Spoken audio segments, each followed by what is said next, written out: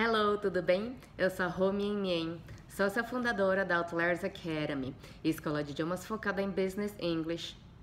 Nesse vídeo eu vou falar sobre duas palavrinhas que confundem muita gente. Por quê?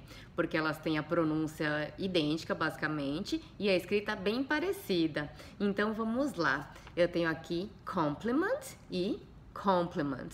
Elas são bem parecidas, né, pessoal? A única diferença é que complement aqui é escrita com E e aqui o complement com I. Mas note que apesar da similaridade na pronúncia e na escrita, elas têm significados diferentes, ok? Então vamos lá. Primeiro aqui com complement, escrito com E. Complement escrito com E significa complementar ou complemento. Pode ser usado tanto como substantivo quanto como verbo, ok? Então, por exemplo, você pode falar assim: Our services complement each other perfectly. Ou seja, nossos serviços se complementam de forma perfeita, se complementam perfeitamente. Alright? Então, lembre-se, complement com E complementar ou complemento.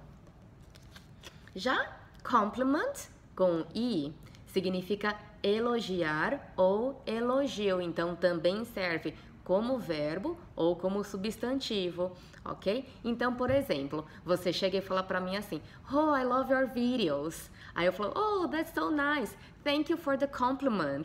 Ou seja, você fala assim, Oh, adoro seus vídeos. Eu falo, Ah, que legal, muito obrigada pelo elogio, ok? Então, compliment, elogio ou elogiar. E aí, temos também uh, umas derivadas dessas palavras, tá? Então, tenho complementary, complementary, que deriva do complement com e de complementar. Então, significa complementary, significa o adjetivo complementar, ok? Então, por exemplo, você pode falar assim: The team is very successful as its members have complementary skills. Ou seja, a equipe é bem sucedida porque seus membros têm habilidades complementares, alright? E aqui, complementary também tem a sua derivada. Então, aqui é o complementary com i. E aí pode significar elogioso. Então, por exemplo, podemos falar assim: The reporter wrote a complimentary article about the service. Ou seja, o repórter, o jornalista escreveu um artigo elogioso sobre o serviço, ok? Então, como vem de elogiar, virou adjetivo elogioso, alright?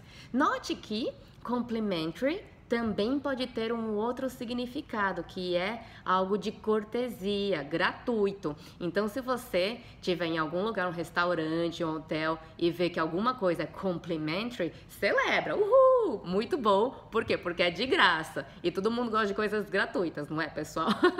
então, quando fala que alguma coisa é complimentary, é de graça, é cortesia. Então tem complimentary water, então a água cortesia que alguns hotéis dão, complimentary wine, vinho de graça, complimentary breakfast, café da manhã de graça e assim por diante, ok? Então é isso aí, pessoal. Espero que vocês tenham entendido e gostado. Se gostar, lembra-se Inscreva-se no nosso canal de YouTube, é Outliers Academy, e ative o sininho também, pois assim você será o primeiro ou a primeira a saber dos vídeos novos que atualizamos. E também poderá assistir os anteriores que eventualmente você perdeu. Tem muito conteúdo legal de inglês e carreira. Te convido também a acessar o nosso site, é outliers.com.br.